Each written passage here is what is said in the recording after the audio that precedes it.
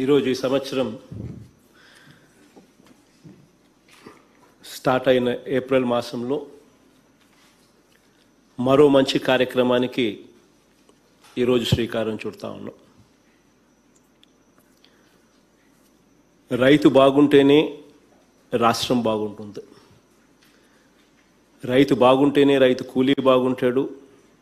వీళ్ళిద్దరూ బాగుంటేనే రాష్ట్రంలో అరవై రెండు శాతం జనాభాకు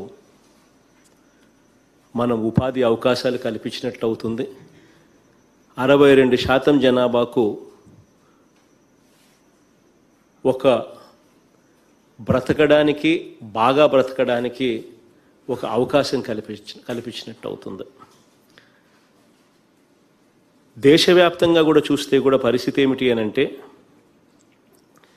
భూమి మీద నివసిస్తున్న దాదాపు ఏడు వందల ఎనభై కోట్ల జనాభాలో కూడా మొన్న ఈ మధ్యకాలంలోనే ఎఫ్ఏఓ అంటే food and agriculture organization survey రిపోర్ట్లు కూడా చూస్తూ ఉంటే దాదాపుగా ప్రపంచంలో కూడా అరవై శాతం మనుషులు వ్యవసాయం మీదనే వ్యవసాయ వ్యవసాయ రిలేటెడ్ మీదనే ఆధారపడి బతుకుతా ఆధారపడి బ్రతుకుతూ ఉన్నారని చెప్పి మన దేశమే కాదు మన రాష్ట్రమే కాదు ప్రపంచమంతా కూడా ఇదే సిద్ధాంతం మీదనే ఉంది. సో ఖచ్చితంగా రైతు బాగుంటేనే రైతాంగం బాగుంటేనే రాష్ట్రం బాగుంటుందని చెప్పి వేరే చెప్పనవసరం లేదు. నిజంగా మన మేనిఫెస్టోలో కూడా నవరత్నాల్లోని మొట్టమొదటి తొలి వాగ్దానాలన్నీ కూడా చూస్తే కూడా రైతన్నలకే ఉద్దేశించిన వాగ్దానాలే కనిపిస్తాయి. అందులో ప్రతి ఒక్క వాగ్దానాన్ని కూడా మనస వాచ కర్మన. ఈ రెండేళ్ళలో తిరక్క మునిపే రైతులందరికీ కూడా అమలు చేశామని చెప్పి కూడా సగర్భంగా ఈరోజు రైతు బిడ్డగా కూడా సగర్వంగా కూడా ఈ సందర్భంగా తెలియజేస్తా ఉన్నాను.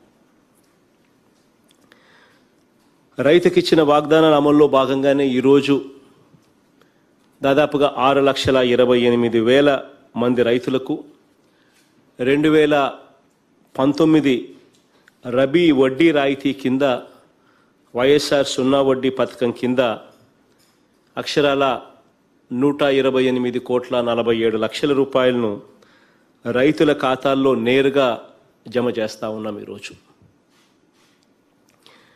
రెండు వేల పంతొమ్మిది ఇరవై రబీలో పంట రుణాలు తీసుకుని లక్ష రూపాయల వరకు పంట రుణాలు తీసుకుని సకాలంలోనే ఆ రుణాలు తిరిగి చెల్లించిన రైతులందరికీ కూడా ఈ వైఎస్ఆర్ సున్నా వడ్డీ పథకం ద్వారా మంచి జరుగుతుంది. రెండు వేల పంతొమ్మిది నుంచి రెండు వేల పంతొమ్మిది జూన్ నుంచి మనందరి ప్రభుత్వం అధికారంలోకి వచ్చినప్పటి నుంచి ఇప్పటి వరకు రాష్ట్ర వ్యాప్తంగా వైఎస్ఆర్ సున్నా వడ్డీ పథకం కింద లక్ష వరకు పంట రుణాలు సకాలంలో చెల్లించిన అరవై ఒక్క లక్ష ఇరవై రెండు వేల ఐదు వందల ఎనభై ఎనిమిది మంది రైతన్నలకు ఇప్పటికే పదకొండు వందల ముప్పై రెండు కోట్ల రూపాయలు గత ప్రభుత్వం బకాయిలతో కలిపి మనందరి ప్రభుత్వం రైతుల ఖాతాల్లో నేరుగా జమ చేశామని చెప్పి కూడా ఈ సందర్భంగా సగర్వంగా కూడా తెలియజేస్తా ఉన్నాను.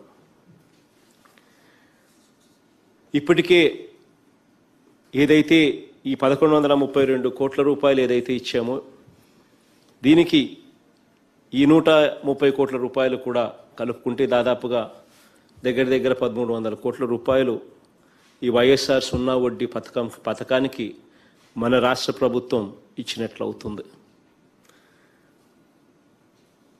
రైతన్న నష్టాలు కారణాలు ఏమిటో రైతులు ఎందుకు ఇబ్బందులు పడతా ఉన్నారు అన్న విషయానికి ఒక్కసారి గమనించినట్లయితే సుదీర్ఘంగా నా సాగిన నా మూడు వేల ఆరు వందల నలభై ఎనిమిది కిలోమీటర్లలో కూడా పాదయాత్రలో కూడా ప్రతి జిల్లాలోనూ రైతన్నలతో వాళ్ళ కష్టాలను వాళ్ళ నష్టాలను వాటికి కారణాలు ఏమిటి అని చెప్పి ప్రతి సందర్భంలోనూ అధ్యయనం చేస్తూ ప్రతి సందర్భంలోనూ అడుగుతూ ప్రతి సందర్భంలోనూ వారికి మేలు ఎలా చేయాలి అని తపన తాపత్రయంతో అడుగులు ముందుకు వేశాం.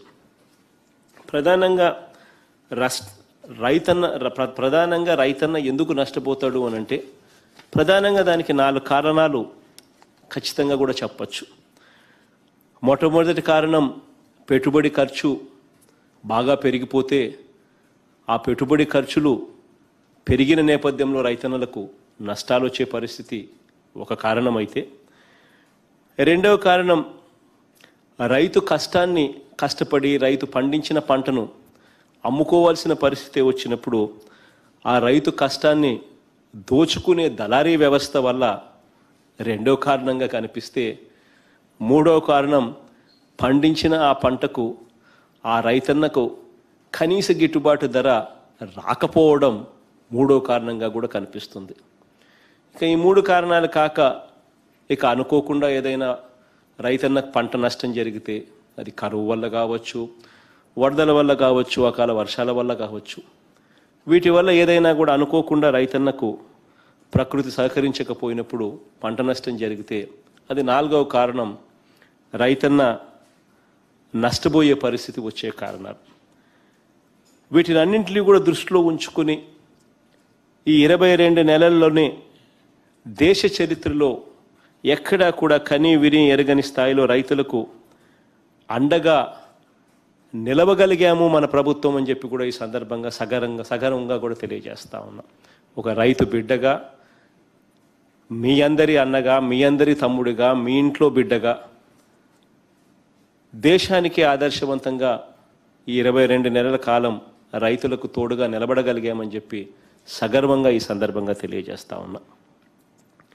రాష్ట్రంలో ఇవాళ రైతు పక్షపాత ప్రభుత్వంగా ఈరోజు ఈ ఇరవై రెండు నెలల కాలంలో ఒక్కసారి గమనించినట్లయితే మన ప్రభుత్వం వేసిన అడుగులను ఒక్కసారి చూసినట్లయితే ఈ నాలుగు కారణాలు ఏదైతే నేను చెప్పానో ఆ నాలుగు కారణాలలో ప్రతి కారణంను కూడా అడ్రస్ చేశాం.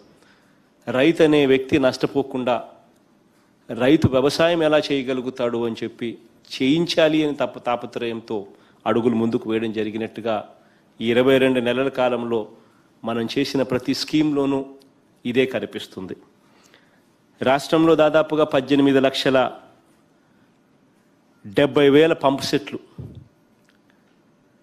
వీటిని ఒక్కసారి గమనించినట్లయితే తొమ్మిది తొమ్మిది గంటల పాటు రైతన్నలకు పగటి పూటే నాణ్యమైన కరెంటు ఇవ్వాలి. దీనివల్ల పెట్టుబడి ఖర్చు రైతన్నకు తగ్గుతుంది అని చెప్పి పెట్టుబడి ఖర్చు రైతన్నకు తగ్గించాలి అని చెప్పి ఆరాటంతో అడుగులు వేసినాం.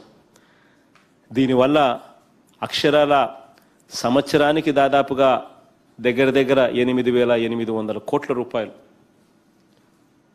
ఆ ఖర్చు భరిస్తూ ఈ రెండు సంవత్సరాల కాలంలో దాదాపుగా పదిహేడు వేల నాలుగు వందల ముప్పై కోట్ల రూపాయలు ఖర్చు చేయడానికి ఏమాత్రం కూడా వెనకాడలేదని చెప్పి సందర్భంగా తెలియజేస్తా ఉన్నా.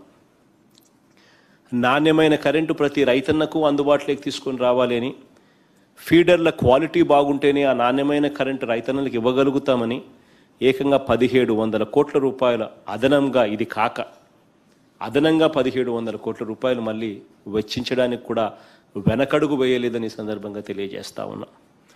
దాదాపుగా ఒక్కసారి గమనించినట్లయితే ఈ ఉచిత కరెంట్ అన్నది ఉచితమై ఉచితంగా ఇచ్చే ఈ నాణ్యమైన కరెంట్ అన్నది ఒక్కొక్క రైతుకు ఎంత మంచి జరుగుతూ ఉంది అని చెప్పి ఒక్కసారి పెట్టుబడి ఖర్చు ఏ స్థాయిలో తగ్గిస్తుందని ఒక్కసారి గమనించినట్లయితే ఉజ్జాయింపుగా ఏడున్నర హెచ్పి మోటార్ ఉజ్జాయింపుగా యావరేజ్గా సగటున ఒక రైతు కన్జ్యూమ్ చేస్తున్నాడు అని అనుకుంటే కన్వర్షన్ ఫ్యాక్టర్ పవర్ ఫ్యాక్టర్ కింద conversion factor point seven five తీసుకుంటే ఏడున్నర హెచ్పి మోటార్ను పాయింట్ సెవెన్ ఫైవ్తో మల్టిప్లికేషన్ చేస్తే ఐదు యూనిట్లు గంటకు కాలుతుందన్నమాట. ఐదు యూనిట్లు గంటకు కాలితే తొమ్మిది గంటలకు నలభై ఐదు యూనిట్లు కాలుతాయి.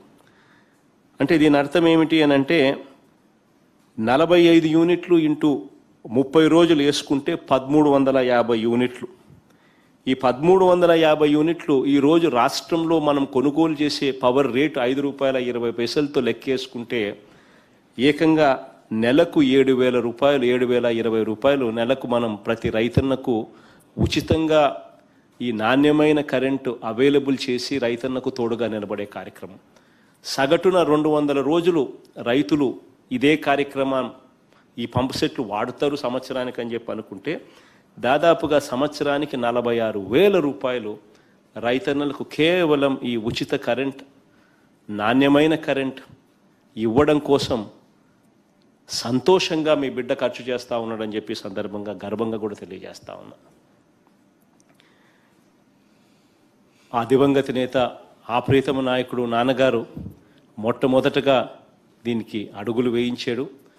ఆ బిడ్డగా నాన్నగారు చేసిన దానికన్నా నాలుగడుగులు ఎక్కువ ముందుకడుగు ముందడుగులు వేస్తానని చెప్పి మాటకు ఇది నిదర్శనంగా నిలబడింది అని చెప్పి కూడా ఈ సందర్భంగా తెలియజేస్తా ఉన్నా.